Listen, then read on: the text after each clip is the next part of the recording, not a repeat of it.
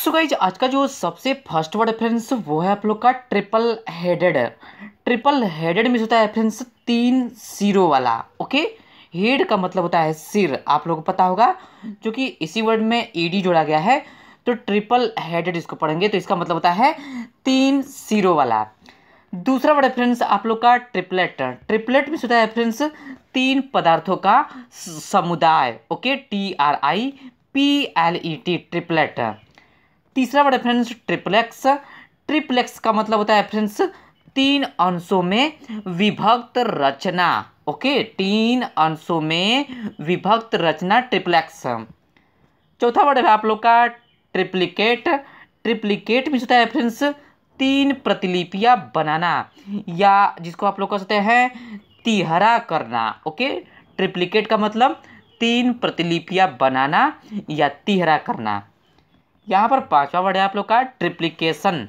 ट्रिप्लिकेशन means होता है friends, तीन प्रतिलिपियाँ बनाने की क्रिया। आप लोग यहाँ पर पूरा लिख लीजिएगा। तीन प्रतिलिपियाँ बनाने की क्रिया को ट्रिप्लिकेशन कहते हैं। यहाँ पर देखिए नेक्स्ट वर्ड है आप लोग का ट्रिप्लीसिटी। ट्रिप्लीसिटी मीन्स होता है फ्रेंड्स, तिगुनापन। ओके? ट्राईपोर्ड तो आप लोग जानते ही हैं।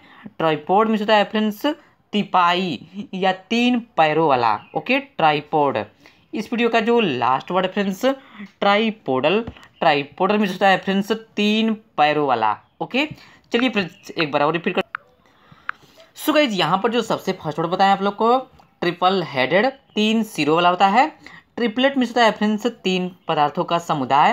ट्रिपलेक्स का मतलब होता है तीन अंशों में विभक्त रचना. ट्रिप्लिकेट का मतलब होता है फ्रेंड्स तीन प्रतिलिपियाँ बनाना या तिहरा करना.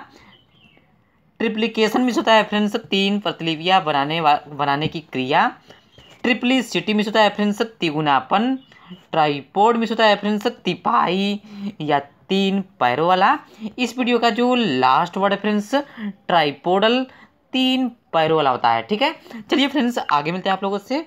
टी का दो सौ तिरसठ के बाद चौंसठवें पार्ट में। नमस्कार।